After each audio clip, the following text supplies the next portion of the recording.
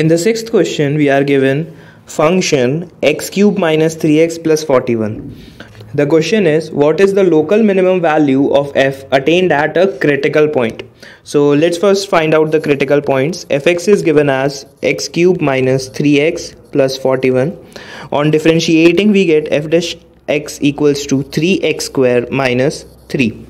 And putting that to 0, we get x equals to plus minus 1 okay now to find out which is maxima and which is minima we double differentiate this function and we get 6x so at x equals to 1 we get 6 which is greater than 0 so this becomes minima.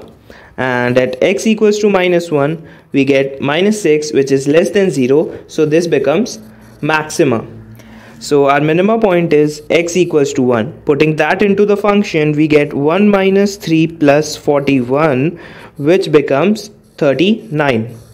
So our answer for this question is going to be 39. That is the local minimum value of f attained at a critical point.